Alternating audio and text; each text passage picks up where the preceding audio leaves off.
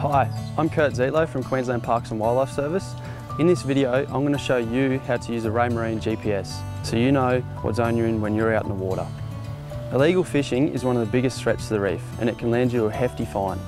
The best way you can avoid a fine and protect the reef is by knowing and following the Great Barrier Reef Marine Park's zoning rules. You need to know where you're going and what's allowed to ensure you are not poaching from a no-take green zone. A GPS unit is a great tool for helping to know where you are in the marine parks, but you need to know how to read it properly and understand how zoning is shown on your unit. Each brand is different. Let's look at the Raymarine GPS unit.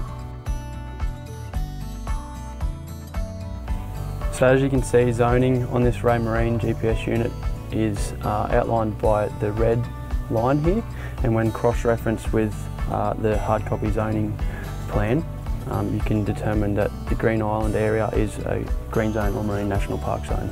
Top tip, note that shallow areas and the reef flats are shown on most systems as the green colour, so double check that you're reading your plotter correctly.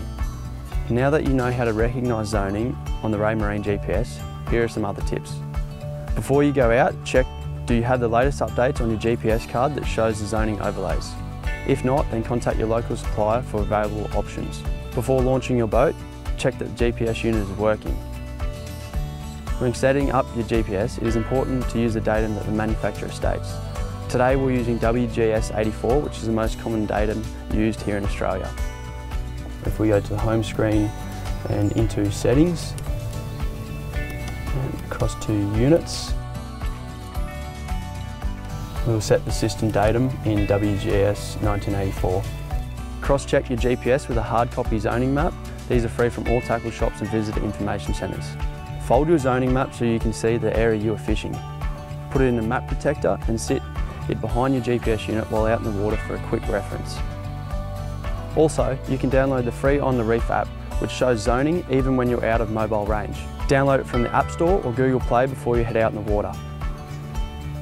Thank you for watching and helping us to protect the Great Barrier Reef.